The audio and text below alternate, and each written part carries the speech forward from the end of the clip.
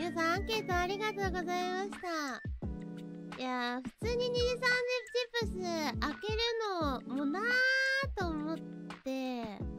そしたらねこちらのね、ま、タイトルにあるようようですけども恥ずかしいセリフを読んでほしいと、私がこの二次三チップスでカードが1枚ついてくんだけどこのカードで自分が引けなかった場合恥ずかしいセリフを読んでほしいとね。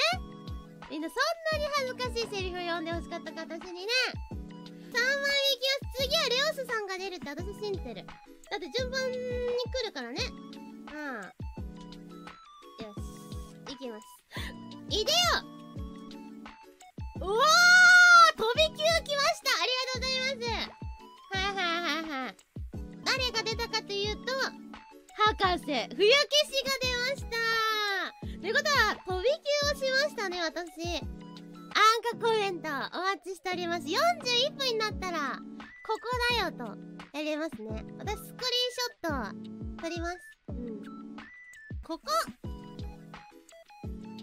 ちょっと待ってあこれあれかあのー、なんだちょ事務所上げての大変なことになっちゃうな。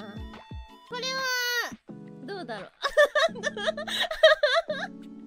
まあでもこれハートがついてないからどういった感情で読むかは私次第だよね。そうだよね。うん。やっほー。これでいい感じか。校内放送っぽい。よし。では、いきます。さやか先輩。大好き。よくないよくないよくないよくないよくない